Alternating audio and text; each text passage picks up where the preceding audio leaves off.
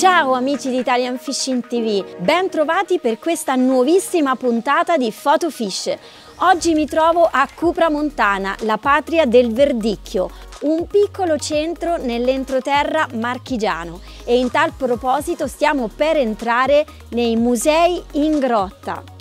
Pensate che in questo museo in grotta sono esposte oltre 90.000 etichette di vino e liquori. A partire dagli anni 80 alcuni abitanti del luogo hanno iniziato a collezionare etichette provenienti da tutto il mondo e così si è potuto dare vita a questa bellissima realtà che pensate è unica nel mondo. Dal secondo dopoguerra si sono contate in questo piccolissimo territorio oltre 40 cantine.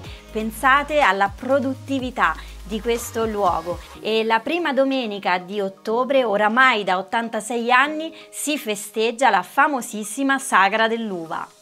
Adesso direi di iniziare la nostra top 5. Ad aprire la classifica è lo scatto di Alessio, pesca sulla neve. Questa sì che è una vera passione.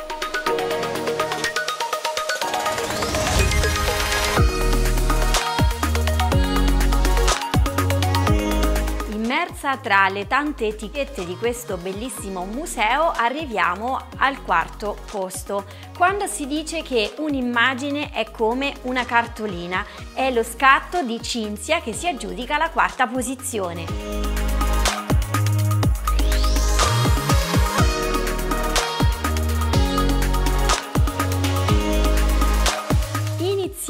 A salire sul podio e la medaglia di bronzo va allo scatto di Nathan. Le grandi passioni iniziano da molto piccolini e di fatti questa immagine ritrae un bambino con tutta la sua gioia in un momento di pesca.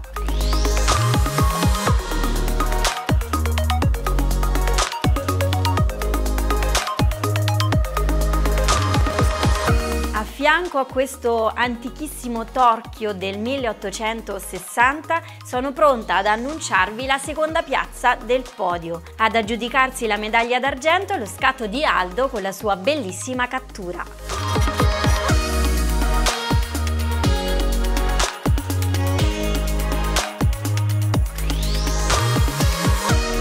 Con tutte queste prestigiose bottiglie che mi fanno da sfondo scopriamo insieme chi è il vincitore di questa puntata di Photofish. Ad aggiudicarsi la medaglia d'oro la foto che mi ha inviato Giorgio. L'entusiasmo nel sorriso di questo giovanissimo pescatore ha decisamente catturato la mia attenzione. Anche Giorgio, come tutti gli altri vincitori di Photofish, si aggiudica un premio messo in palio da Italian Fishing TV. È arrivato il momento di salutarci. Io ringrazio tantissimo il sindaco di Montana, Enrico Giampieri, che mi ha dato la possibilità di accedere a questo spazio unico nel suo genere. Dalle settecentesche grotte del monastero di Santa Caterina io vi saluto e vi rinnovo l'appuntamento per una prossima puntata. Ciao a tutti!